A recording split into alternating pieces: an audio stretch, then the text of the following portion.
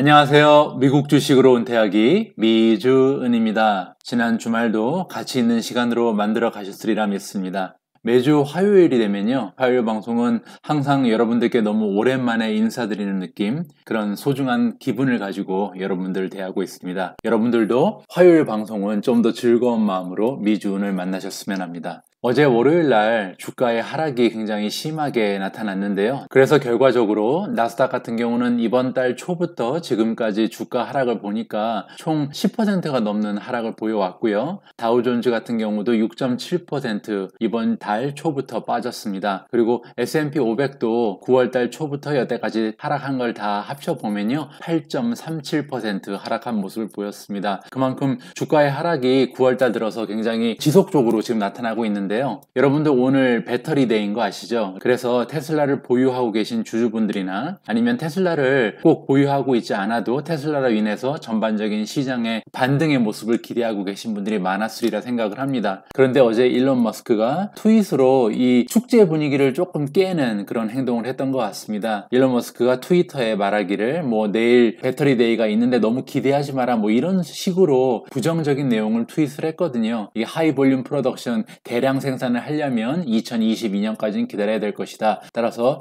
축제에 약간 찬물을 끼얹어주면서 테슬라의 주가가 많이 하락을 했습니다. 장이 마감될 때까지는 플러스로 끝났었거든요. 그런데 이제 장이 마감된 후에 이제 일론 머스크의 트윗이 발표가 되면서 장 후 7% 빠지는 안 좋은 모습을 어제 보여줬습니다. 그래서 테슬라 주가 빠지면서 많은 분들이 일론 머스크에 막 욕을 하고 막 이러시더라고요. 그래서 화가 나신 분들이 꽤 많이 계신 것 같은데 사실 투자자의 관점에서 이 테슬라의 배터리 데이가 갖는 가장 큰 의미는요. 뭐 일시적인 주가의 상승보다는 사실 테슬라가 가지고 있는 비즈니스 모델의 강화라든지 아니면은 테슬라 기업의 근간이 발전하는 거잖아요. 기업의 가치가 늘어나는데 그 커다란 의미를 두는 쪽이 더 현명할 것 같습니다. 사실 뭐 주가가 오르면 사실 우리가 뭘 하겠어요. 테슬라라는 기업을 믿고 있기 때문에 투자를 하는 건데 당장 주가가 올랐다고 내일 모레 우리가 가지고 있는 주식을 다 팔 수는 없는 일이잖아요. 따라서 주가가 오르면 사실 우리가 얻을 만한 이익은 별로 없거든요. 주가가 계속 올라가게 되면 월급이 들어왔는데 그 돈을 가지고 추가로 테슬라를 매수하거나 이럴 계획이 있을 때 그 매수 금액만 올라가는 거니까 사실 단기적으로 봤을 때 테슬라의 주가가 계속 올라가는 것 아니면 빠망의 주가가 계속 올라가는 것은 지금 막 시작한 우리 투자에 별로 도움이 되는 일은 없습니다. 그래서 제가요, 우리가 꼭 주식을 팔아야 할 때를 한번 정리해 봤습니다. 우리가 이러한 상황을 직면하게 되면 보유하고 있는 그 주식을 매도하는 것도 괜찮 괜찮겠다. 이렇게 네 가지로 한번 생각을 해봤는데요. 첫 번째 경우는 투자 기업의 근간이 흔들릴 때입니다. 예를 들어서 월등하게 더 힘이 좋은 그런 경쟁자가 나타났다든지 아니면은 가지고 있는 비즈니스 모델이 흔들린다든지 아니면 뭐 굉장히 재정 상태가 나빠졌다든지 어떤 투자 기업의 근간이 흔들릴 때 보유하고 있는 주식을 판매해도 될 것 같고요. 두 번째, 종목 선택의 이유가 사라졌을 때 예를 들어서 페이스북에 투자하시는 분들은 단순히 그런 소셜 미디어뿐만이 아니라 페이스북이 앞으로 앞으로 4차 산업, 특히 뭐 증강현실이라든지 가상현실 이런 데 투자하고 있는 것을 알고 투자를 하시잖아요. 근데 예를 들어서 페이스북이 그걸 다 포기했어요. 아니면은 미국 정부에서 페이스북은 소셜 미디어에만 집중하라고 압력을 넣었어요. 뭐 이런 식으로 되면 사실 종목을 선택할 때 그 커다란 이유가 없어지는 거잖아요. 이렇게 되면 우리가 해당 주식을 매도할 이유가 충분하다라고 생각이 되고요. 세 번째로 갑자기 현금이 필요할 때, 뭐 돈이 필요할 때가 생길 수도 있겠죠. 물론 이런 일이 없 도록 우리가 항상 간절하게 바라는 마음이지만요. 예를 들어서 가족 중에 한 명이 갑자기 아프다든지 아니면 사고가 생겨서 커다란 돈이 지출이 필요한다든지 이러한 일이 발생을 하면 우리가 어쩔 수 없이 주식을 팔아야 될 것 같습니다. 마지막으로 하나 굉장히 어려운 문제가 있는데요. 주식이 지나치게 고평가되었을 때입니다. 이 문제가 사실 가장 판단의 기준이 애매합니다. 왜냐하면 고평가라는 기준이 굉장히 주관적일 수 있고요. 주식이 고평가됐다는 것은 사실 시장이 고평가됐을 가능성도 있 있기 때문에 시장과의 연관 관계를 생각해 봐야 되는데 우리가 시장의 흐름을 읽어내는 것은 거의 불가능에 가깝기 때문에 어떠한 시기가 주식이 지나치게 고평가되었는지는 사실 판단하기가 굉장히 어렵습니다. 그럼에도 불구하고 저는 오늘 Fear and Greed 인덱스를 살펴보니까요. 현재 51까지 떨어져 있더라고요. 지난주에는 59까지 올라간 모습 보였었고요.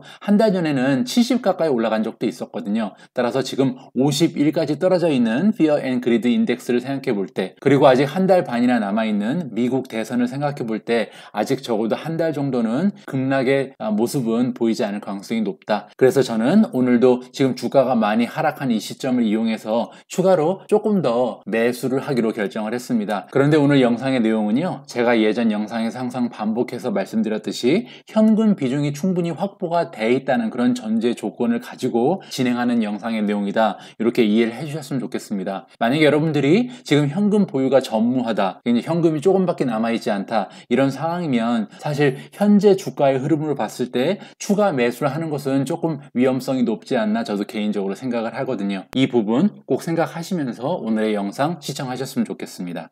자, 9월 22일 화요일 영상의 제목은요. 내 주식 중에 가장 많이 하락한 종목은 이라고 정해봤습니다. 오늘 이야기는요. 첫 번째로 내 주식 중 가장 많이 하락한 종목 같이 찾아보도록 하고요. 두 번째로 analyst rating for S&P 500 마켓의 애널리스트들이 rating을 하잖아요. 그 rating에서 가장 좋은 점수를 받은 그런 산업군을 살펴보고요. 그리고 개인 종목들도 여러분들과 함께 공유를 해보도록 하겠습니다. 세 번째로요. Catch Me If You Want로 오늘의 방송을 마무리 마무리합니다. 그럼 바로 시작합니다.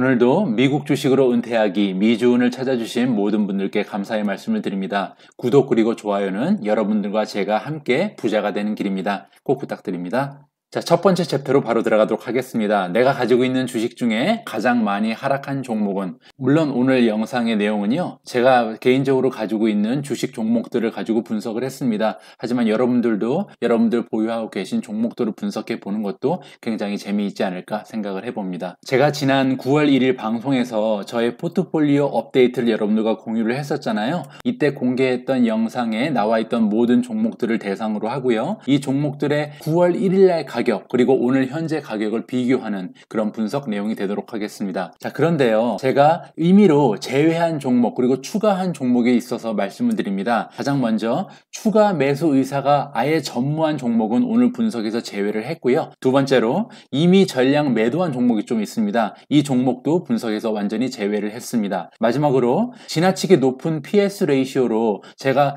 투자할 의지가 없었던 그런 종목이 몇 개가 있는데요. 그런 종목들을 4개를 이미 임의로 추가해서 함께 비교해보는 그런 시간을 갖도록 하겠습니다. 자, 첫 번째로 보실 분석은요. 평가 금액 순입니다. 즉, 이 순서는요. 제가 얼마만큼 이 주식을 보유하고 있느냐에 따라서 리스트를 지금 정리를 한 내용이거든요. 제가 가장 많이 보유하고 있는 종목은 아마존이고요. 두 번째가 테슬라, 세 번째가 애플, 네 번째가 Livongo, 다섯 번째가 엔비디아인데 과연 지난 21일, 지난 3주 동안 어떠한 주가의 변동이 있었는지를 살펴보도록 하겠습니다. 아마존 같은 경우 제가 가장 많이 가지고 가지고 있는 종목인데요. 무려 13%가 하락한 모습을 보여주고 있습니다. 테슬라는 오히려 플러스고요.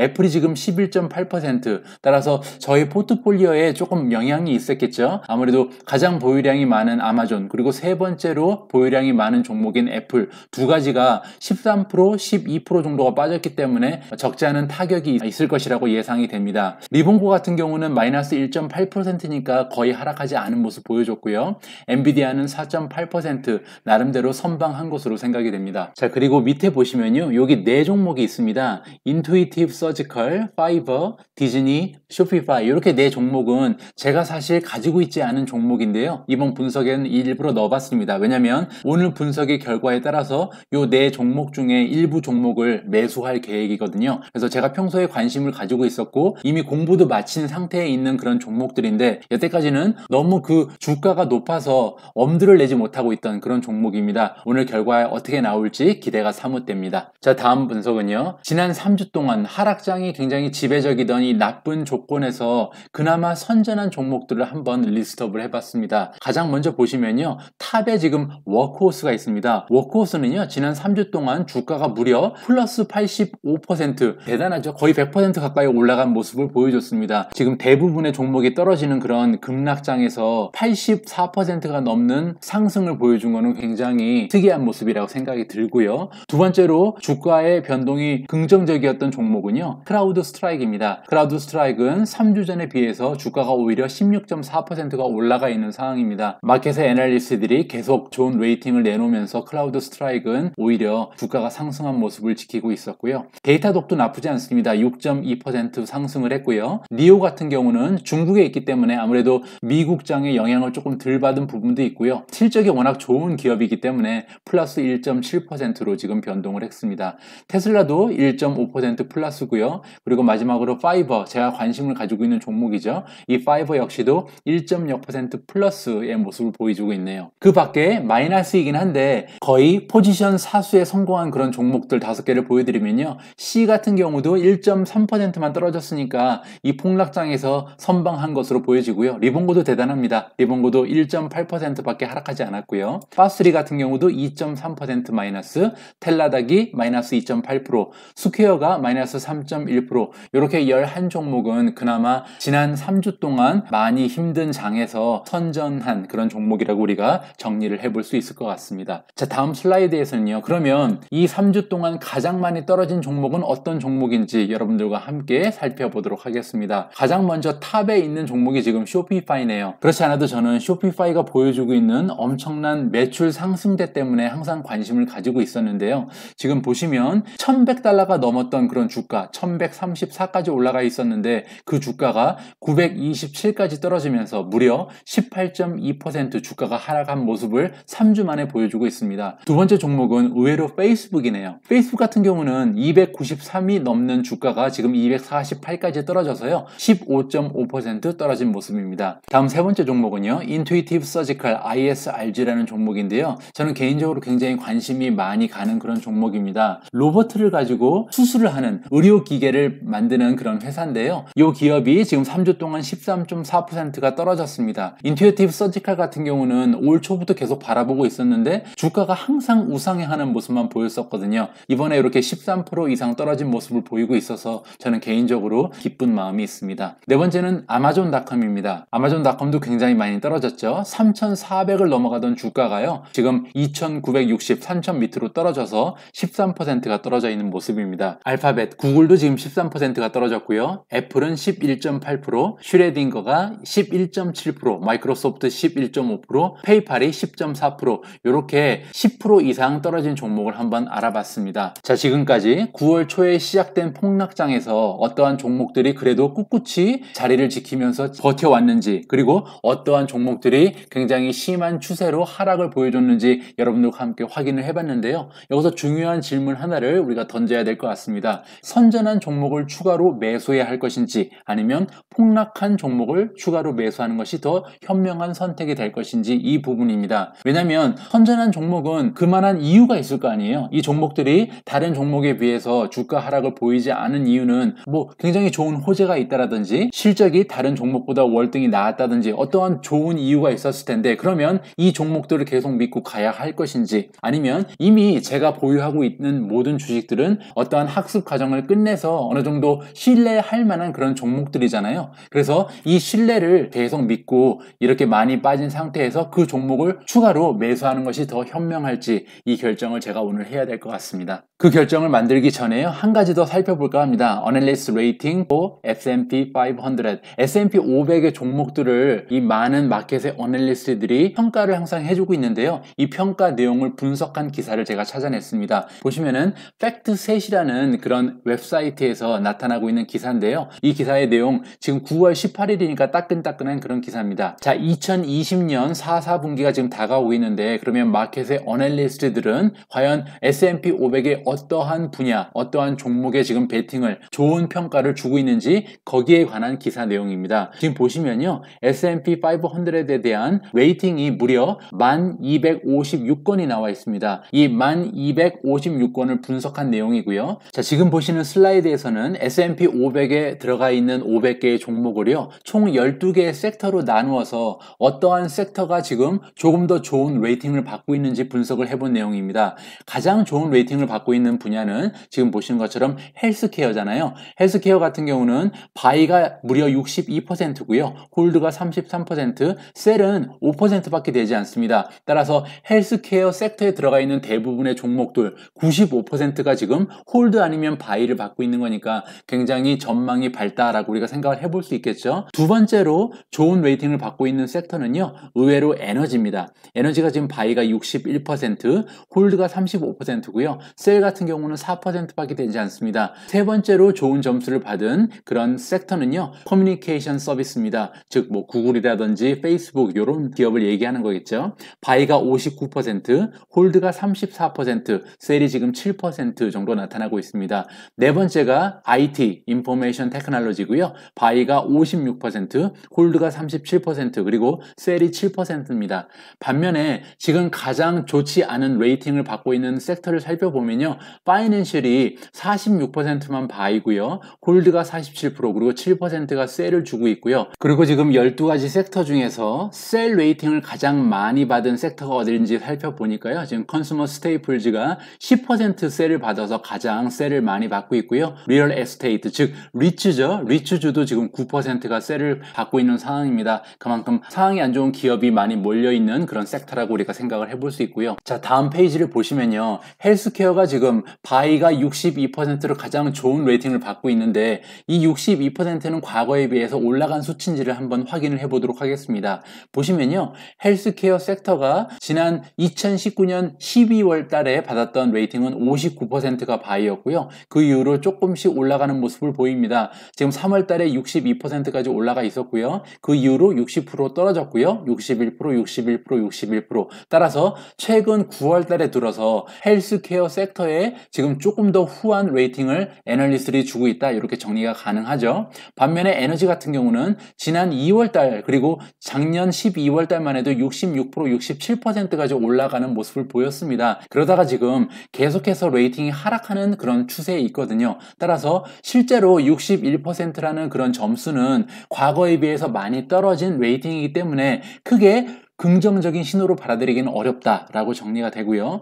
이번 슬라이드에서는 S&P 500에 들어있는 500개의 기업 중에서 가장 좋은 rating을 받은 top 10을 여러분들께 보여드리고 있습니다. 보시면요. 지금 buy만 100% 받은 세 가지의 기업이 있어요. 첫 번째는 Quanta Services라는 그런 기업인데요. Quanta Services는 전기라든지 파이프라인, 산업용 아니면 통신용 infrastructure를 만들어주고 서비스를 제공하는 그런 회사입니다. contractor base 회사라고 보시면 될 것 같고요. 두 번째로 Assurant라는 그룹이 있는데요. 이 Assurant라는 기업은 risk management를 하는 회사입니다. 일종의 보험 회사라고 보시면 될 것 같고요. 세 번째는 반가운 이름이 나타나네요. Teradyne. Teradyne은 우리가 한번 공부한 적이 있는 그런 그룹입니다. 테슬라를 제치고 S&P 500에 들어가서 우리가 굉장히 관심을 갖게 된 그런 기업이잖아요. 지금 Teradyne 같은 경우는 반도체 testing 전문 기업이다라고 우리가 생각을 해보면 되고요. 이렇게 세 가지 기업이 현재 받고 있는 모든 rating의 100%가 buy signal을 불고 있다. 그래서 굉장히 긍정적인 신호를 받고 있는 그런 기업이다라고 우리가 정리를 하면 될 것 같습니다.